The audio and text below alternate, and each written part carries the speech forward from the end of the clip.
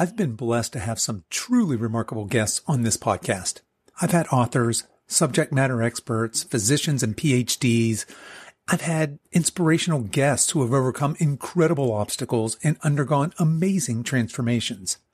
And I've loved each and every one of these conversations, and I've taken something away from all of these interviews. And I hope you have as well. Today's guest reached out to me and asked if I'd be interested in interviewing an average senior fitness consumer, someone without in-depth fitness expertise, but rather is representative of the general Silver Edge over 50 population. Perhaps someone like you. So today I present an interview from the perspective of the average fitness consumer. But in editing this podcast, it struck me Perhaps this story isn't so average after all. In fact, I found it extraordinary. It struck me in listening back to this episode that those of us over 50 who are prioritizing our health and fitness aren't average at all, but exceptional. And since you're listening to this podcast right now, I'm guessing your story is exceptional as well.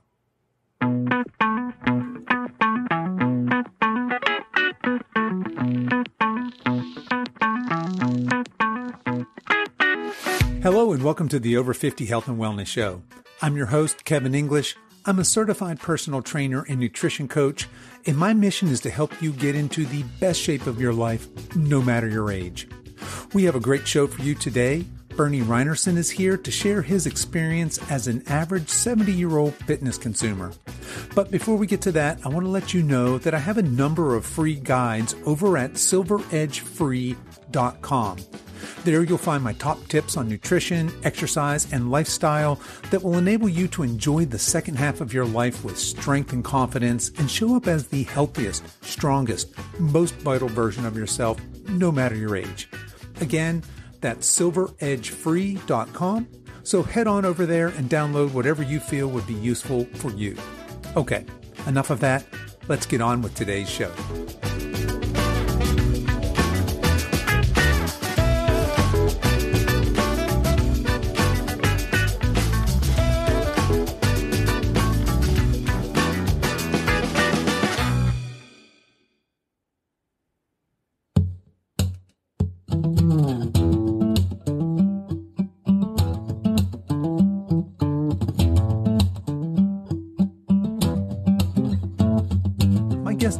Bernie Rhinerson.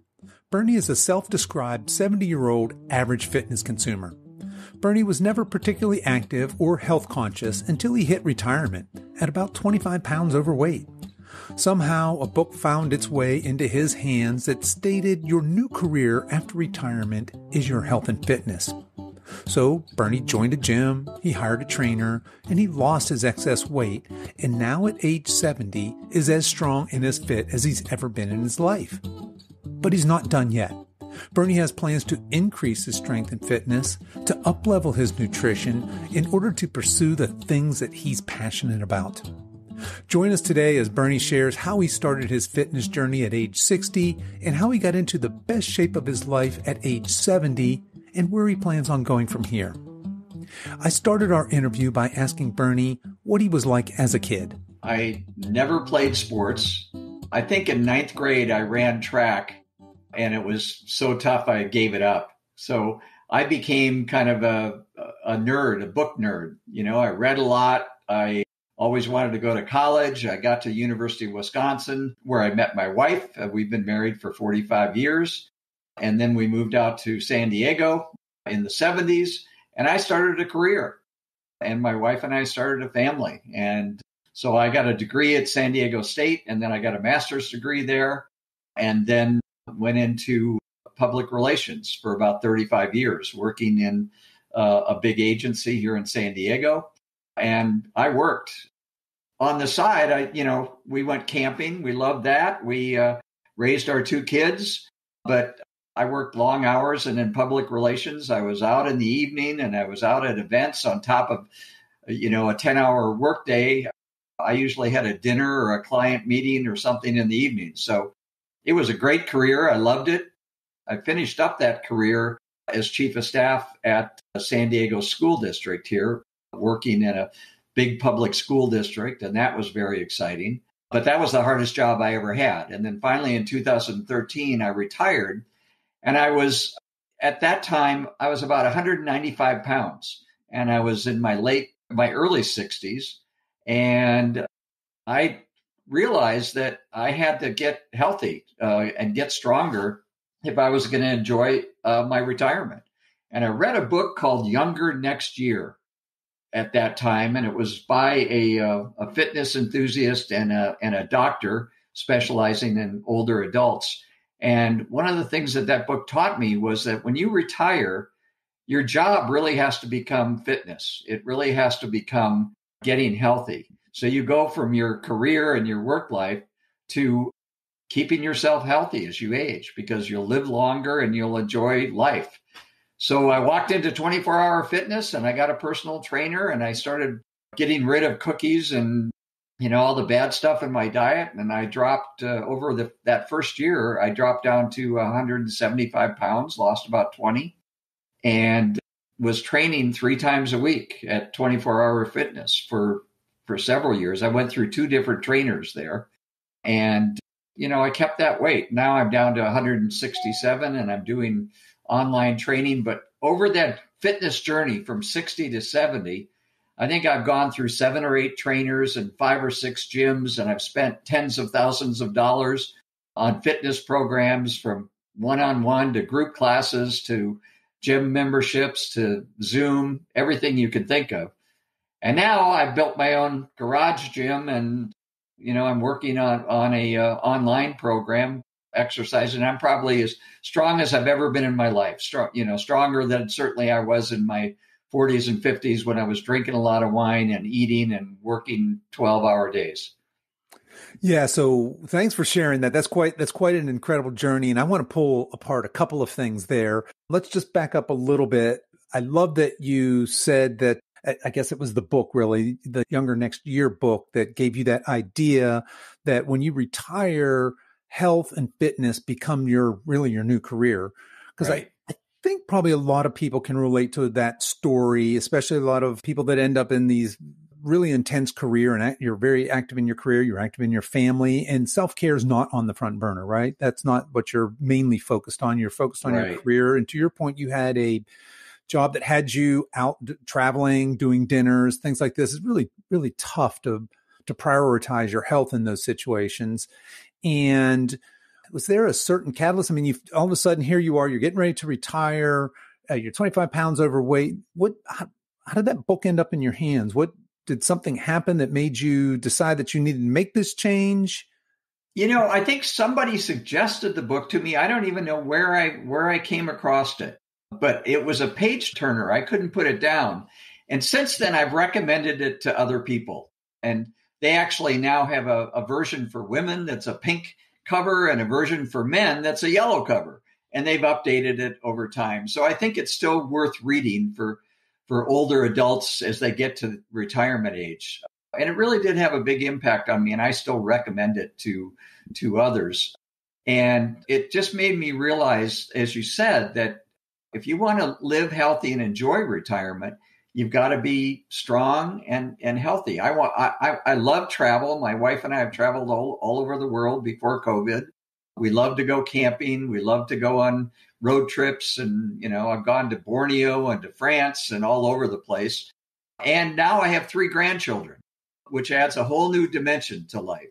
So to be able to enjoy those things, to be able to play with your grandkids and run around with them and to travel and go hiking up mountains.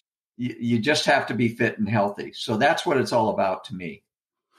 Yeah, that that's fantastic. So it wasn't a health scare or anything like that. Just somebody no. somehow that book found its way into your hands, and to your point, it was a, a page turner and clearly had a big impact on your life. And now the other thing I wanted to talk about in your original story, you ended up by saying, here I am, I'm 70 and I'm as strong and as fit as I've ever been. Did I hear that right? Yeah, I, I, I think I'm pretty good right now. Uh, but you know what? I've, I've kind of reached a point, Kevin, where I want to get, I want to go to that next level. And so I look back on the journey, so the fitness journey so far, and I've been working out. I've been exercising you know, and a, a lot of trainers that I've had, you just go to them and they give you kind of, okay, today's what we're go- going to do. And I've kind of felt like I haven't been making progression. I was just at a plateau where, you know, I was pretty healthy, pretty strong. And now I've gotten to the point where I want to take it to the next level. And I feel I'm starting to do that in my home gym. I've gotten a barbells and plates and weights, and I'm doing, you know, lifts on my own. And I already am starting to feel that progression. And now I feel like I'm training instead of just working out. And I, I think I can get even stronger and I think I can be healthier. Joining your holiday accountability group of the Silver Edge is was kind of a big decision for me because I, you know, you think you can do those kind of things by yourself, but then I'm at the point right now where I want to do a little bit more and I want to take it to the next level. Yeah, I, I, think that's great. And I love that you mentioned that you're trying, in order to get to that next level, you're going to move from quote unquote working out to training. And there is a distinction there that a lot of people might miss. Uh, working out's great. Everybody should work out. That's just exercise for the sake of exercise. It's for the benefit that you get in the moment or immediately after. Whereas training's much more of a strategic roadmap that says, okay, here's where I am today. Here's where I want to be some point in the future, right? And that can be, I mean, a month, it can be six months, it can be a year, it can be several years, depending on what your goals are. And that training requires then a roadmap, a strategic roadmap to get you from here to there. And I just love that, that you're saying that, hey, okay, here I am. I'm 70. I'm fit. I want to be fitter.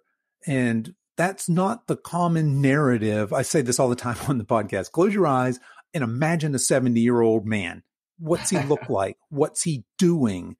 He's probably not doing the things that you're describing. You're in your gym, you're lifting weights, eh. and you're not just lifting little hand weights. You've I've, I've seen you on your Instagram. You're lifting real weights. You've got barbells and racks, and you are progressively getting stronger. So hats off to you. And I think that just really showcases that it's never too late to start. You're never too old. And certainly we can defy that kind of conventional wisdom. Well, when you hit your 60s, your 70s, it's all downhill from there. That's that age of decrepitude and decline and and atrophy and sarcopenia and osteopenia, et cetera, et cetera. But I think that people like you are actually showcasing that doesn't have to be our reality. And you're not I don't want to I don't want to uh, downplay this, but you're not a, a, super you're not a person that's been active their whole life. You're not a you're not no. a professional athlete. You're just kind of a regular a regular person, right? And, and, and you know, I I look at Instagram and and started following other people who are you know older adults who are into exercise and fitness, and wow, there are some there are some people that I follow that are you know bodybuilders and you know just totally into it and doing amazing things. Everything from flexibility to functional range of, of, motion to the amount that they're lifting. And then I look at myself and I'm a I'm a 70 year old guy who has bad balance. You know, it's hard for me to stand on one foot. I just put up a video of me doing rear foot elevated split squats where I'm just, yeah. you know, going all over the place. And so I have and I have very bad flexibility because I never did stretching throughout my whole life. I, you know, I can't touch my toes. It's hard for me to, you know, to bend over and to to do flexibility exercises. But I but I, I know it's important. So that's another next level I think that I've been thinking of getting to is how do I get my range of motion and functional mobility moving because I can I can lift and bench press and deadlift but it's being able to move and bend over. So I'm trying to do more of that and also trying to just like up the intensity of the uh, strength program that I'm doing. But I'm certainly, you know, not not a, a, a fitness superstar of someone who's lifting and you know I've never competed in in uh, lifting. I've never even run a 5K or a marathon or anything like that. I'm just an average guy who wants to get strong, and be fit and uh, enjoy golfing and travel and my grandkids. Fantastic. All right. So let's talk a little bit. You had run through you you kind of mentioned yourself as a consumer, as a fitness consumer, and you let's run through that a little bit. Just pick that piece apart because you've spent a, a fair amount of money on your fitness. You talked about different gym memberships, certainly uh, coaching, and on Instagram, I'm seeing your yeah. garage. You got a lot of stuff in there. You got some nice yeah. stuff in there. Talk to us a little bit about yourself as a fitness consumer. And then let's talk a little bit about maybe some of the ageism in marketing to folks like you and I when it comes to fitness. Right. Well, I think my first step was walking into a, a box gym, which is what a lot of people do when they decide they want to get fit they look what gym should i go to? And i went to 24 hour fitness which is a big chain and joined that paid a monthly membership and asked them for a trainer and i got one of their trainers assigned to me. Fortunately the trainer i got was excellent. He was a young guy with good educational background and he he trained me on lifts and and he was creative you know he well i remember one time he had me lifting a pvc pipe with ba- with uh, resistance bands and plates on it, so it it would wobble as you lifted it. You know, and I was doing sled pushes and sled pulls and handstands. So every time I went to Johnny, he would have something creative for me to do, and I I went to him for about five or six years, and then I moved to another gym, a smaller, more boutique gym, and I worked out there for a couple of years with several trainers, and I had one great trainer who was doing some training on bench press and lifts. And I remember he added a resistance band to a barbell so that I could activate my back and feel what it was like to not just push with your arms, but activate some other muscles. So having trainers teach you proprioception, you know, a knowledge of what muscles should be active in certain exercises and learning about your body and and how you should do certain exercises was a great value. But you know, at $85 an hour, two or three times a week. And my wife was doing the same thing. My wife was going to the gym also. So between the two of us, we were spending eight to ten thousand dollars a year on personal training. But I got a great value from it, and I got what I liked and what I didn't like. And then the pandemic hit, right? And it changed all of our lives. And so then we went to Zoom classes. So I did uh, Zoom two or three times a week with with trainers and, and realized that hey, I can do this in my garage. This is kind of great. I don't have to get in the car and drive to the gym. And so I started acquiring things for my gym.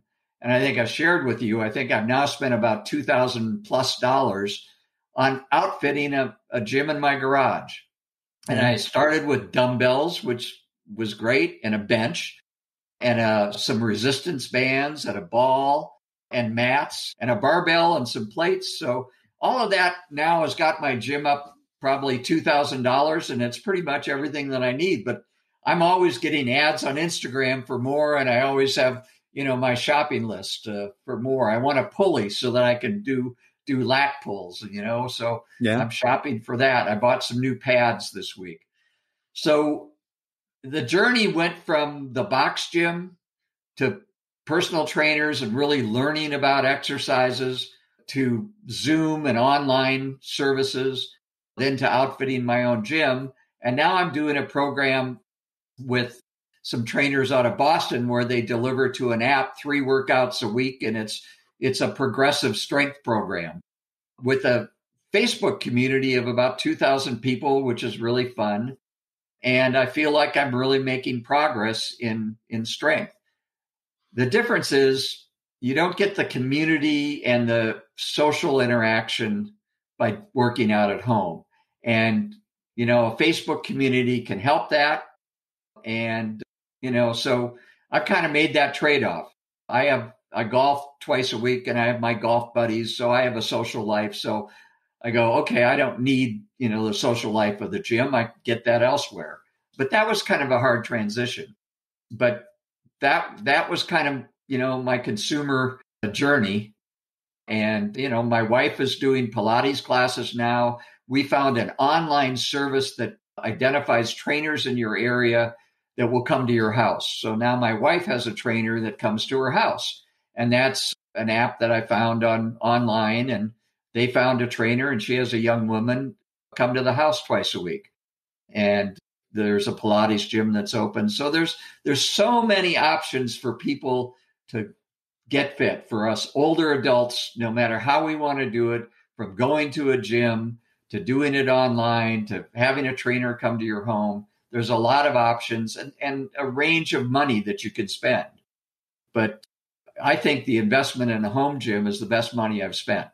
You know, it, it's paying off in my health and my fitness. Yeah, 100%. And you and I were talking before we even started recording about technology and fitness and where this is all headed. And certainly the pandemic has, has, changed a lot of things, right? A lot of gyms have shut down. A lot of people that stopped going to the gym during the, the lockdowns never really went back. And unfortunately, we, the fitness world has lost some of those folks. They stopped doing fitness.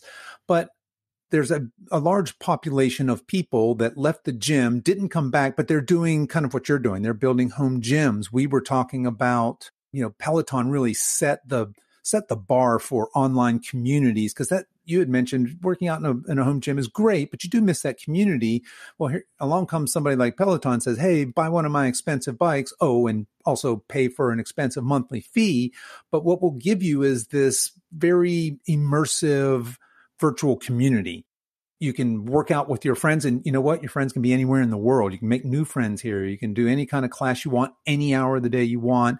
And I just saw that they've just announced a resistance training or strength training module that they're going to be shipping at the beginning of the year. So a, a lot of things are changing and moving. But to your point, for a senior that's just looking to get started, the big box would have been the most obvious choice in the past, and that can be pretty intimidating. Let's face it. Walking into because those right. Pla- those places are typically filled with depends on the time of day you go. There's a lot of young people in tight clothes and blaring music, and it can be intimidating, right? But there's a ton of different resources available to get healthy. To your point, it can be something from, you know, you found an app that has somebody come to your house. It can be people are delivering, you know, online programming now and we're hopefully getting back to normal most places in gyms.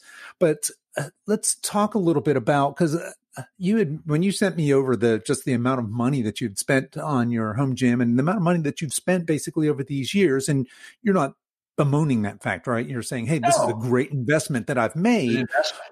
It, it, yeah, it's a great investment. I would I would wholeheartedly agree with you. I've never spent the money I've spent on myself for fitness has clearly paid off. When I see advertisements for our age demographic, it's usually, and I think it was Brock Edwards from Midlife Mastery that, that brought this up. It's usually a silver haired gentleman in his convertible, and it's going to be a Viagra commercial, or it's going to be a silver hair gentleman or lady doing something and it's going to be for a drug. It's going to be for, you know, a heartburn or prescription or medicine. Hearing aids or, you know. for hearing aids. Yeah, exactly. It's not this fit. I mean, I feel like marketers are really missing an opportunity in our age demographic because I don't know about you, but you know, certainly when I was much younger, the people that I see being advertised as fitness stuff to I couldn't afford it. I didn't have any money. Yeah. now I'm at a place in my life where I can afford these things. And I, I just think that when I look at the fitness advertising space, they don't seem to be spending a lot of advertising dollars on our age demographic. And I wondered if you noticed the same thing. Yeah, I totally agree, Kevin. One of the things that I've noticed about the marketing and the online programs that are offered is that they're really focused at, at younger adults. And I've been now in a couple of online programs. And one of the things I've noticed is that it's a majority of women. Frankly, the, the community that I'm in right now of about 2,000 people who are doing this strength program, I would say 80% of them are women. And of, of all those people that I see posting, there might be one or two older adults you know, there was some, most of the women are, they appear to be, you know, in their 30s, 40s, you know, maybe 50s. But that's who both of these online programs that I've been to have marketed to. And I keep asking myself, where are the men who are in these online programs? And, and secondly, where are the older adults? And I think it's a result of not marketing towards us. And, I, you know, I'm a baby boomer, so I'm retired. I have a retirement income. I've got money to spend. You would think that marketing would be more focused at me because I probably have more disposable income to spend than someone in their 30s, 40s, and 50s in the middle of their career. So, you know, I'm a consumer who who you would think that they would focus on. But I think that there is, as you get older, people tend to think that they they can't exercise and they can't get strong. And if they go for a walk every day, that's what they need to stay healthy. You know, walking is the the big thing in my neighborhood. You'll see people walking all the time. And so I'll ask somebody, what are you doing? And they say, oh, I walk three times a week. You know, I personally believe, and everything I've read is that that's not enough. That that you have to get, you have to have strength training. I hate cardio myself, but but uh, strength training is really the path to being uh, healthy and increasing your longevity. So I think there's a mindset of of older people who don't gravitate towards you know working out and exercising. I mean, people, my friends, roll their eyes when they see my Instagram account. They go, "What are you doing?" I said, "Well, I'm not posting for you. There's a whole fitness community that I'm into, and I'm posting for." For them and to get ideas from the other people on Instagram and to get, you know, comments. Plus, it's motivational to me but my friends look at it and go, "Oh, God, Bernie's kind of weird because he's posting workout videos all the time." So, you know, I so I think it's something I'm I'm trying to promote senior health in every way that I can, but that's something I think we need to overcome. And if if advertising in the fitness industry were to focus on us more, that might help change that mindset.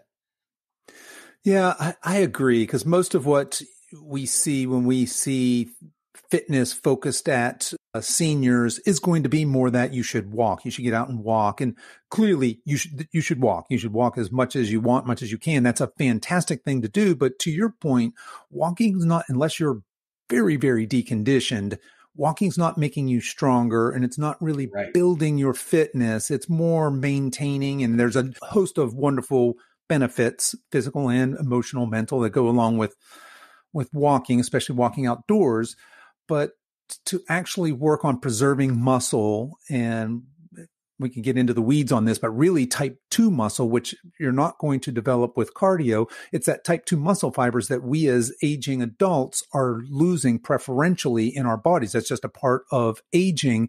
And to combat that, we can do strength training. And that message isn't being sent out into kind of that senior community that we should do some form of strength training. And oh, by the way, it should have some sort of progressive overload to it. It should be training and not just working out. It's one thing to go into the gym and to lift your weights and do the same routine day after day after day. That's great. You're maintaining some level of fitness and you're way ahead of somebody who's not doing that. But you're no longer getting stronger and you're no longer training. You're kind of, to your point, you're working out. So uh, I'm with you. I, I, want to be that evangelist of that healthy, strong, vital aging as opposed to, oh, you should take a walk. So you had mentioned earlier and just briefly, you, I think you said, uh, yeah, now I'm in, my, I'm in my garage gym and I'm doing, you know, my bench presses and my deadlift. So let's transition to that because one of the things I still hear all the time and it drives me nuts are these here are top three exercises people over 50 should never do. And of course, the yeah. deadlift's invariably thrown in there, squats quite often in there, and you should never put your hands over your head or just all kinds of ridiculousness. So talk a little bit of what does your current, you mentioned you're doing a, a strength building program. What kind of exercises are you doing? Well, I've evolved to stronger lifts and, and heavier weights. And, and I think, you know, an average older adult who may be listening to this and just getting started, it's a progression. You know, you, you start and you and you work through it. And I'm now to the point where, you know, I'm I'm doing bench presses, I'm doing deadlifts, I'm doing dumbbell rows and dumbbell complexes. And I know I can go a lot farther and a lot heavier to build muscle. I believe that at 70 I can build some more muscle. And that's that's what I'm trying to do. But it's a progression. So the program I'm on by Jason and Lauren Pak out of out of Boston, and it's only twenty bucks a month, and uh, I get it on an app, and it, it's a progression of lifts they have a, a program for dumbbells and a program for barbells, and I kind of have to do a mixture of both. So, but the other important part is it's not just those major lifts, it's doing things like, you know, pull, push, lift, step, the things that we do every day as adults. You know, we're carrying grocery bags, we're lifting th- lifting, you know, my grandchildren. So these kind of strength exercises translated right to it. A pull up for pulling, you know, a push up for for pushing or or a bench press lifting things. So that's where deadlifts come in. I bought a box, an 18 inch box, and I do step ups with weights to increase my leg strength.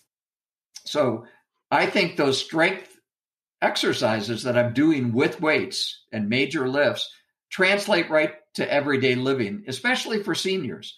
My hips are really tight and I have bad flexibility in my hips. So I decided that from my belly button down to my knees, I've got to get that area stronger. I don't I don't want to break my hips when I'm hip when I'm in my 80s by falling. And that happens to way too many people. And I don't want to have a hip replacement. So being strong in your lower body can help you avoid those kind of things as you get older. And being strong in your upper body can help you enjoy life, lifting your grandchildren, carrying in the groceries, putting, you know, something up on the top shelf. So all of those lifts that people say you should never do, those are the ones that make you stronger for everyday life. That's my perspective. And I'm going to keep deadlifting and bench pressing and get stronger so that I can live longer. Yeah, amen to that. I, I've uh, that's very well said, and and I agree, obviously, wholeheartedly with you. I think that these primal functional human movements like a squat, a hinge, a hip hinge, which is all a, a deadlift is, and a deadlift's just a fancy way of saying bending over and picking something up. You had mentioned pressing overhead, and yeah, that's to lift a barbell overhead to say you shouldn't do that. Well, that's the same thing as dooming you to never being able to put this canister in an overhead cover exactly. for the rest of your life. And as we practice these things and make them stronger, what I hear you saying is, A, you're, you're more competent, right? You can do these things, but you're also, you are preventing yourself from that frailty and from injury and just being stronger makes you a more capable human being to enjoy these things that you're mentioning. I, I like to travel. I like to golf. I like to play with my grandkids.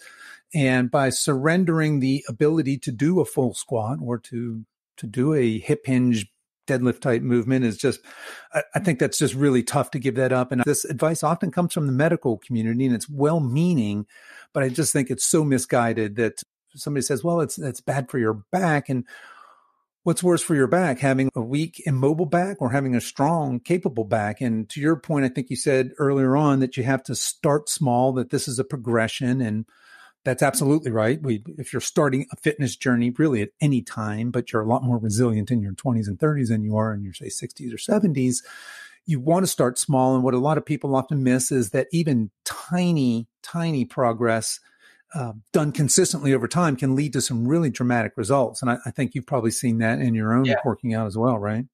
Well, I, one of the things that I want to mention is is doing lifts like deadlifts and bench press and overhead anybody can pick up weights and do those lifts, but that's where the investment in personal training, I think, has paid off for me and would pay off for anyone.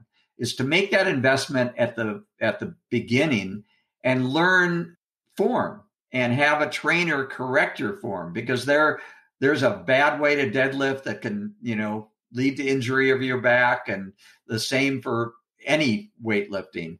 Yeah. So having a trainer that will tell you that this movement you want to engage your back muscles and this movement you want to make sure your hips are back for the deadlift and that you engage your shoulders and the deadlift isn't all about you know your legs and and moving it really is a full body exercise and i learned that by investing in personal training over those years as i explained earlier to make sure that I know how to set up for a deadlift and I know, you know, what muscles to engage. And and I've hurt myself deadlifting. I've kind of pulled my back and had to back away for a few weeks and let it heal. And then I realized, oh, I wasn't, you know, I wasn't doing the right form. And you got to get back to the right form. And you can do bench presses in the right way or the wrong way. You know, you can lift just a little weight easily, but if you want to lift more weight and progress and get stronger, form is very important. And so having a trainer help you with those things, as I mentioned, the word I learned, proprioception, you know, being able to connect your brain with the muscles that you want to use, making sure your glutes are engaged in a squat and, and not your quads, you know, and knowing how to do that. All that comes from what I learned from the several personal trainers I had. So now I'm at a point that I'm glad to be that I miss not having a trainer because there's a social and friendship engagement there, but I, but I do know technique. I did meet a trainer who was interviewed on your your show, Damien Joyner. Damien, uh, that's right. Yeah. Right. No, you know, yes. San Diego. I saw you guys together. That's right. You're he's yeah, down there in San Diego as well. With Damien and I bought some sessions and trained with him for a few weeks. Unfortunately, his gym is quite a ways away from my house, so it wasn't real convenient. But he and I are still friends and and uh, talk occasionally, and love the work that he's doing with older adults. Uh, yeah, he's so, amazing. Yep. Yeah, so it's important to do that, you know, to learn the correct form. But once you know that, you can really make progress on getting stronger. 100% agree. And I heard, I can't, I'd love to give this person credit. It's another trainer. I, I, heard it probably on a podcast, go figure. But I heard somebody say that there's no such thing as a dangerous exercise, just exercises done improperly. And yeah. that's really where things like squats and deadlifts, which are full body complex compound movements. And when they're done incorrectly, certainly there's a much higher risk for injury than if they're done correctly. So done correctly, you're really minimizing minimizing your risk. And of course, the the more we push that envelope in terms of intensity, weight, etc., the more that that risk of injury will go up slightly as well. But yeah, learning these things from a trainer is obviously from a qualified trainer is obviously the best way to do it because they're then they're correcting you in real time. And to your point, that early investment that you made is, is still paying off today because now you've got those basics. You understand the mechanics of that squat. I think you had even mentioned, hey, I don't want to be quad dominant in my squat. I want to make sure my glutes are firing. I want to make sure I'm keeping that neutral spine, et cetera, et cetera. So that that's all great advice. Let's switch a little bit and talk about how you're fueling all this activity. So you've got a pretty good workout routine. You're working on building some muscle, some building some strength. What do you eat in order to put on muscle and to stay fit and healthy? Well, that's probably the area of biggest challenge for me. And, and it's the reason I signed up for your holiday accountability group. So I could get a little bit of feedback and uh, motivation from you and from the others in that group about not only working out and you know training but uh, nutrition. So i try to eat healthy foods you know vegetables uh, and protein and stay away from you know sweets and sugars. My wife and i have been doing uh, blue apron meal delivery looking at the calorie count and the picking even even with the meal delivery services you can get high calorie count and things that are not not so great you know? So we do that a couple of times a week and that's taught me how to cook and how to prepare things with vegetables and protein and and grains that are a bit healthier than what I might just do on my own. So so that's something that we've enjoyed. The other challenge that I've had over the years is my love of wine. And you know the the the wine culture, the social aspects of drinking wine can just really take over. I, I had a, you know, a wine rack that was stocked and I'd sit down with a glass of Chardonnay and one glass would become three. And for a long time, it was a glass of wine with every dinner or two glasses of wine with every dinner. And as I got older in, in this period of my life, I realized that, you know, it didn't make me feel good. It was empty calories, but the the addiction is there. I won't call it alcoholism because I've seen that in my brother and my and my parents, but you know, very functional habit of drinking wine all the time. And and you talk about it. What vintage was it? And did you try? Did you try the this vintage? And you know all of that. It becomes a whole culture of people I was in the San Diego Wine Society, you know, where everybody gets together and talks about it. So then when you try to pull back from that and live a healthier lifestyle and reduce your alcohol consumption, I think your body is just, it becomes a habit and it's hard to break. In your holiday accountability group, that was one of my goals. And Kevin, I've now gone 13 days without a glass of Chardonnay keep making the check marks on my calendar. Yeah, I saw so your I last post where you yeah where you had that big X's on your calendar. Right, so congratulations, right. So, yeah. Uh, this weekend I'm going to visit my daughter, you know, and so who knows what will happen. But setting those kind of goals for yourself in nutrition and other habits in your life beyond the the working out, I think is an important part of it. And that's probably the biggest challenge for me is is that area.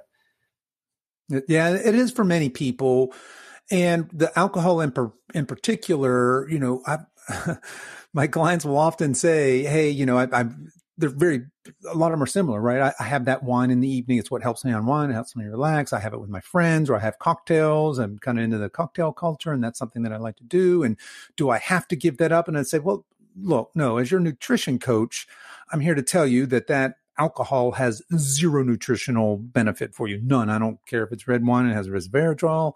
It's not, it's not helping you on your nutrition. However, it may have a benefit in other areas of your life if used responsibly and in moderation. And often, you know, we use alcohol in family settings, we use alcohol in social settings.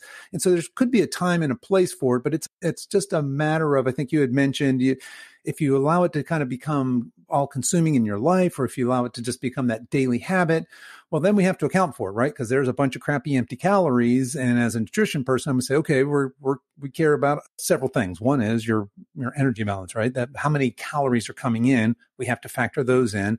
And the next thing I care about is, well, what do those calories look like? How many are protein? How many are carbs? And how many are fats? And how many of those are healthy proteins, healthy carbs, and healthy fats? Well, guess what? Your alcohol doesn't fall into any of those healthy categories, but we still have to account for it. And so it's it's something that folks have to learn for them personally where it fits into their life, right?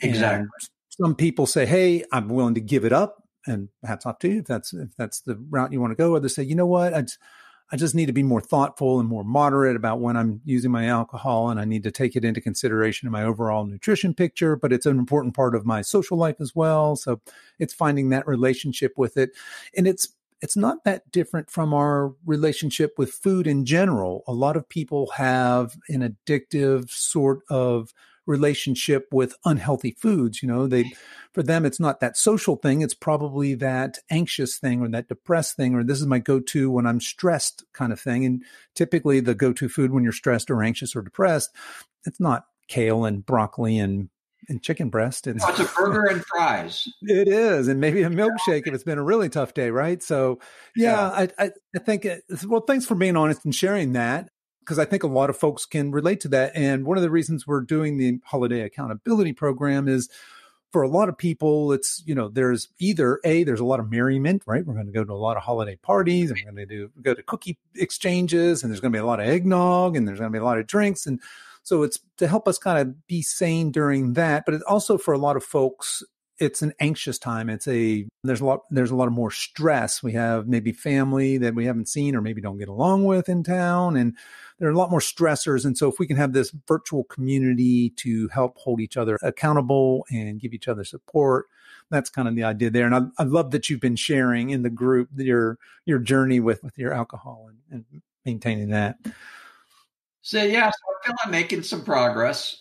You know, yeah. I still eat a burger and fries after golf. You know, I probably should get give that up, but that's one of my joys is to play golf with my friends and then sit and have a burger and fries. And you know, my other addiction is Diet Coke, and I go on and off of that. There have been times in my uh, past that I've had three, four, five cans a day of Diet Coke, especially mm. during my work career. I was like yeah. huge Diet Coke, you know, stopping at uh, 7-Eleven and getting the super tanker, you know, and just yeah. drinking that. And then I went for a couple of years and didn't drink Diet Coke. And now I've kind of slipped back into it. I still don't have it in the house, but you know, I'll have it when I go out. As a replacement to having that glass of wine, I'll have a Diet Coke.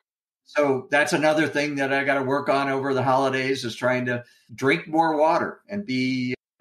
I've never been a water drinker. I drink other things, but I just don't do that. So I'm trying to say, okay, if I can drink one bottle of water a day, that's one more than I've ever done sure. yeah. before. You know, so now when I work out and first thing in the morning, I'll grab a bottle of water and you know before I finish that workout, I've I've consumed that. I get up and take my pills and drink a glass of orange juice, go into the gym with a bottle of water, and that water is finished. And then I've been drinking sparkling water, you know, instead of my glass of wine. Yeah. Uh, I've been drinking something I discovered on Instagram called hop water, which is uh, a sparkling water infused with with hops. And it's kind of it, it's got a, an orange color like wine, and I, I put it in a wine glass and you know drink sparkling water. So that's a good replacement to something not so healthy. So yeah, we all have those challenges, and you know, trying to uh, to make sure that I get enough protein. You know, I have protein shakes. I added creatine now to my protein shakes, and so I have have berries, no fat yogurt, and some protein and some almond milk, and blend that up after a workout. So you know, trying to get enough protein is hard. And, and what they recommend and the number of grams, if you look at that in a day, not many of us will get to that level of protein, you know? So that's something I'm trying to monitor and think about. You know, more protein, more more hydration, and avoiding some of those bad habits that I've developed over the years. Yeah, that's fantastic. And, and I love that. And you're right. Most people especially in our age group, we, we're under eating protein. And until we really look at how much we should be eating and kind of measure and track and figure out what that is, a lot of people are really surprised at how much that is. And the general guidelines there being 0.7 grams to one gram per pound of ideal body weight. So in Bernie's case, I would like to see him eating a minimum of say 140, 150 grams of protein in a day. That's a lot. He's at 170 pound weight, right? And ideally, if we're going to get him, you know, he's lifting all these weights and really trying to get stronger, I'd like to see him closer to 170 grams of quality protein. So, and so that's a whole lot. Kevin, let's take that. You know, 140 sure. grams. How much is a chicken breast? You know, 25 grams? Exactly. Yes. Okay. Yeah, and it depends, right? Are you eating a are you eating an eight ounce breast? Or are you eating a four ounce breast, which would be more of a common serving? But yeah, you're looking at typically a chicken breast serving that you're going to get in a in a restaurant. You're looking at 20, 25 grams. So yeah, you're you're going to yeah. need to so protein shake is about, you know, 25 30 grams. So there I've got to almost 60. And I'm still only halfway there. Mm-hmm. And okay, at, at night maybe I'll have a, a New York steak and a salad. So that that 6 ounces of red meat might get me another 30 grams, right? That'll get me 30, 35. Yeah. Right. Yeah. So a protein shake, a chicken breast, and uh, a serving of red meat and I'm no, I'm still nowhere near the. 100. You're at a hundred ish, right? Yeah, maybe. Yeah. So, so that's that's my dilemma. You know, how how do how do you get that much protein in a day? Yeah, it's a, it's a lot of protein, and you have to really prioritize. You know, especially if you're a meat eater, you got to prioritize those protein dense, and that's going to be a lot of the red meat, which you know, if you're certainly anybody in our age bracket, as we grew up saying, oh, red meat is bad not so much, but you know, obviously eggs, you get you're getting protein in other places as well, right? If you're eating yeah. nuts and even vegetables have got a little bit of protein, so it it does add up, and that's why the protein powder industry is. I mean, that's the number one probably nutrition supplement in the world is that protein powder, because it's a quick and easy way to to take in protein. In addition, we really because we lose this protein sensing ability as we get older, we need larger and larger amounts of protein in a meal in order for that to send an actual muscle building signal to the body. So, in an ideal world, not only would I have you eating that 140, 150 grams of protein in a day, but I'd have you eating a minimum of 30 grams at a time. So you're really going to start. So when you look at that four ounce chicken breast, I'm going to say, well, you know what? Let's let's bump that. Let's make that a six ounce serving or maybe an eight ounce serving. Right when you're looking at that scoop of protein in that shake, well, go ahead and make that a scoop and a half. Right. So there's little things that you can do to kind of bump. But yeah, the, the protein is a, is an interesting one and it takes a lot of people by surprise. One of the um, I can't think of anybody that I personally work with that came to me already saying, "Oh yeah, no, I'm I'm hitting my protein. I know how much protein I'm eating, and I'm hitting my goals." Those are typically, you know, people in our age group. Those are going to people people that are competing in bodybuilding or right. powerlifting, and they they're very in tune with that. But your average fitness person, not so much. They're, we and, and really, your be, average older adult doesn't even think about this stuff. They don't. No, you know, they don't. Uh, and and that's my predilection is to. Uh, I don't, you know, do I have to count calories? Do I have to pay this much attention to what I eat to make gains in my fitness and health? Because it just adds, you know, a lot of work it, and it can even be stressful to think about your diet in that way. So I'm trying to find a middle ground where I eat healthy without stressing about calorie counting. So the awareness that you're giving me and that I'm learning from other people of prioritizing protein and and prioritizing, you know, healthy healthy grains and and eating veggies. Your episode about the five superfoods from a couple of weeks ago was excellent, you know, and thinking about the ways that you can get more of those nutrients. And right now I'm kind of looking at at the algae supplement that you mentioned as something to add. Another way to spend my fitness consumer dollars, right? That's right. Yeah. But, but to be able to do it in a way that that you're not stressing about it and you know counting every calorie and figuring out through the day, but to just do it as an awareness of eating healthy and finding that balance. So that's kind of where I am as a consumer right now.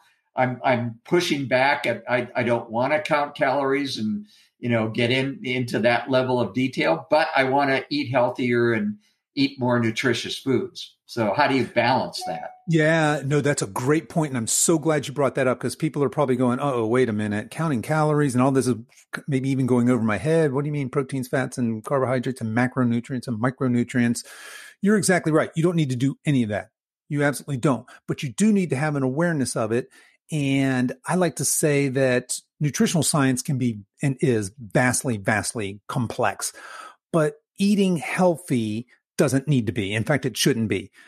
Just table stakes. First thing you can do is start to replace some of your processed foods with wholesome whole foods. That's mm-hmm. just, if you do that and only that, and you don't even worry about your protein or your fat or your carbs, you're way ahead of the curve. You're way ahead of the, the rest of the folks. And then from there, we'll go to, okay, let's bring some awareness to what are healthy sources of protein, fats, and carbs. Which of these should I be selecting? Okay, so that's kind of next level. And then, okay, I should I, I need to under, have an understanding of how much protein I should have per meal, how much fat should I have per meal, and how much carbs should I have per meal. But you don't need to know, you don't need to track it. You don't need to have, okay, well, let's see, I, I see that it's the end of the day and I didn't hit my 140 grams. I better go get 15 more grams of, of this macro or that macro in order to be exactly there. Unless you're competing and you're at that very pointy end of the stick in performance, that doesn't that doesn't apply to us right? We can just have a more of a common sense intuitive perspective to healthy eating. So thanks for bringing that up. You you don't need to. Now should you go on and say a year from now you really fall in love with say you know you're getting stronger in your your squat and your deadlift and your bench press and you say you know what a challenge for me next year might be is to enter a powerlifting meet. Or maybe i want to get into hypertrophy and what the heck i'll i'll do a my first bodybuilding show ever at the age of 71 or 72 we're going to have to we're going to have to have a discussion that we're right. going to have to dial in that nutrition right. a little more carefully as well as your pro exercise programming but for the average senior that just wants to be fit and healthy there's right. you if you like it and you want to nerd out on it fantastic go for it but if that's distasteful for you and it's going to push you away from fitness and, and nutrition and healthy eating absolutely don't need to do that and, and, you know, I do admire and am jealous of of those older adults who do that. In fact, you've had several guests on your show of, of women who have done bodybuilding shows and done amazing things. And I follow some of them on Facebook, like Twilla from Arizona is on your show. She's great. She's a golfer too. I, lo- I love her. He is. I, I, believe she's quite an accomplished golfer as yeah. well. But, you know, an amazing, fit older woman who, mm-hmm. who has, has, competed and done great things. So I don't know. You know, maybe that light bulb will go off on me uh, at some point. Never know. Knows? But yeah. at, at, this point, I'm, i want to get stronger. I want to be able to look in the mirror and, and do a flex and go, damn, that's that's pretty good for a 70 year old guy. And to be able to uh, go up and see my you know three month old grandson and and cart him around and and I've got another grandson who's turning four you know who's going to get me starting to play soccer and running around and chasing him around and you know, at 70 years old, you, you know, you got to keep up with those little ones. And, right. uh, you know, we're helping, helping our kids out with babysitting and stuff like that. So, you know, shooting in the 80s and sometimes or shooting in the 90s at golf and being able to run around with my grandchildren and looking at myself and being proud at, at how strong I look. Those are my goals right now. And to do that, you're right. I got to think about nutrition more than I have and to to have an awareness. In addition, uh, I, guess I'm coming to the realization that you know just working out and then going off and doing whatever you eat, eating whatever you want is not enough to get get you to that next level. So you got to have that component as part of a training program, and that's kind of where I am now that I'm progressing into my 70s. Yeah, and I think that that's a very good point, right? You don't have to it if you're workout program or your nutrition program that somebody let's say you've gone to a trainer or you've found this online program if it's odious to you if you hate it if you if it causes you stress you're probably not going to stick with it in the long run so finding that that middle ground of hey this is healthy for me but i can live with this i can do this i can because really what we want at the end of the day is for you to change your lifelong relationship with food and exercise mm. right uh, I can get you, if you're a willing client and you'll do exactly what I tell you, we can do anything in, in, in several, say three, six months. We can, we can slim you up. We can bulk you up. We can make you stronger. We can slim you down.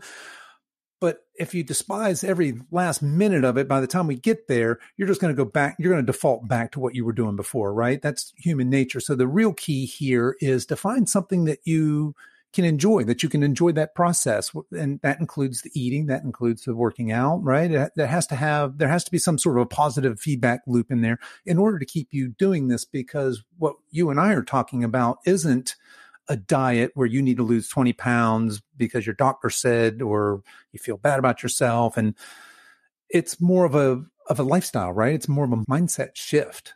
Right. And I think that that's kind of an important distinction that people, need to find things that they can live with and that they actually enjoy doing.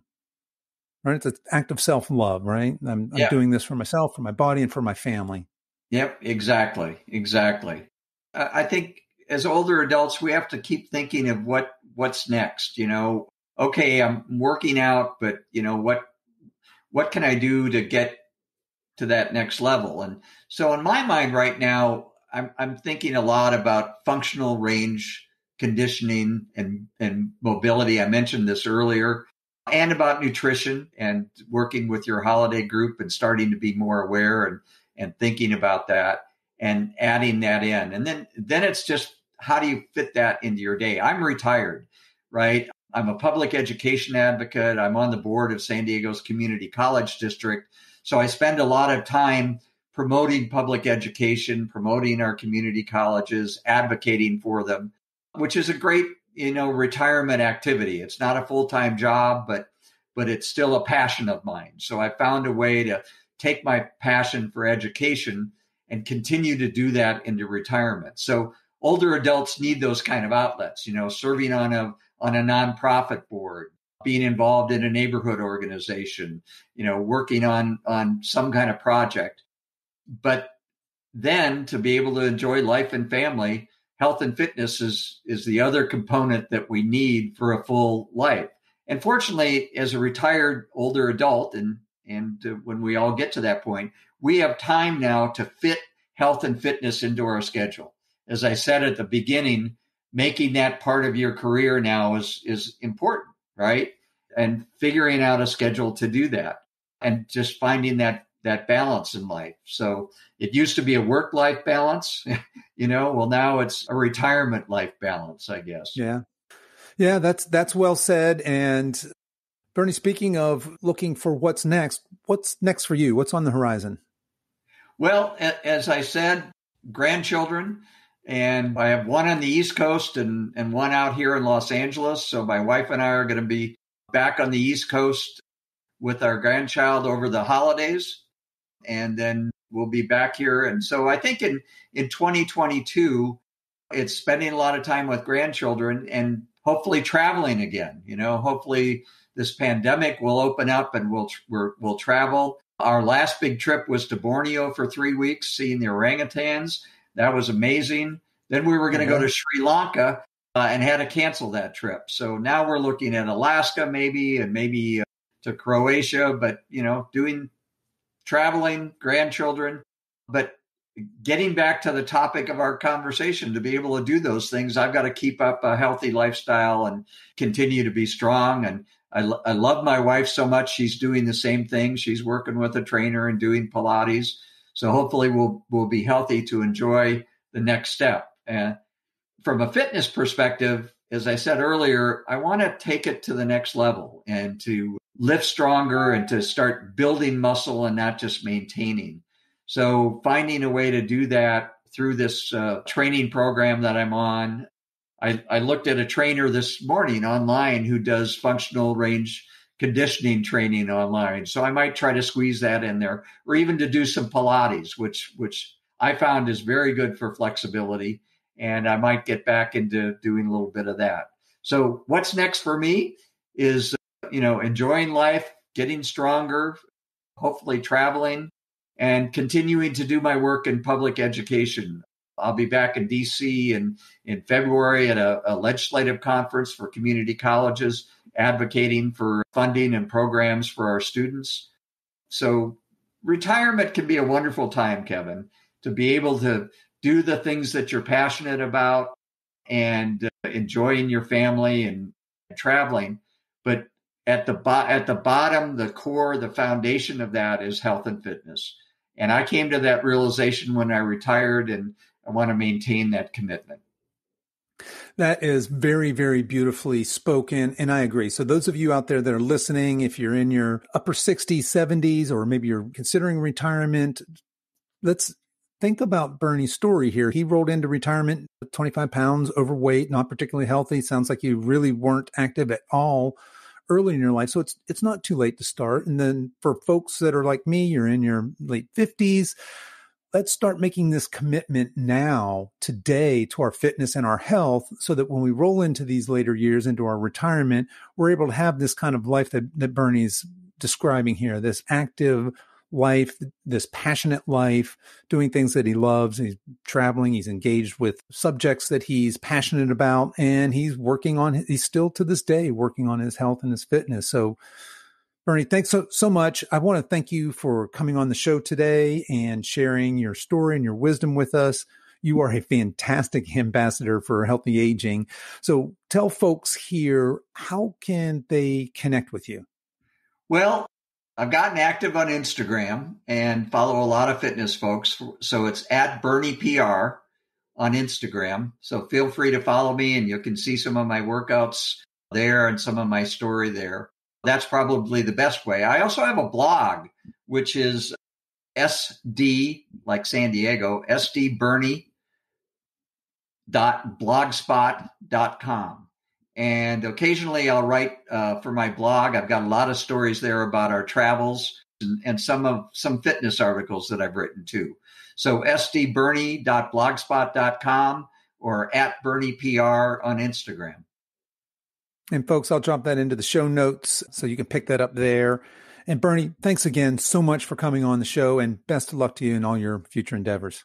Kevin, this has been so much fun. It's been a stimulating conversation and I'm so impressed by the work that you do. Uh, your podcast has been inspirational to me, and I'm enjoying working with you in the accountability group.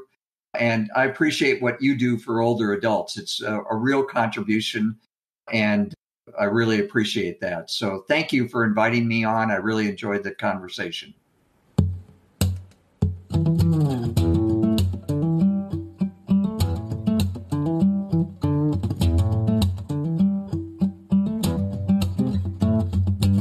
Okay, folks, that's our show for this week. I hope you enjoyed today's conversation as much as I did.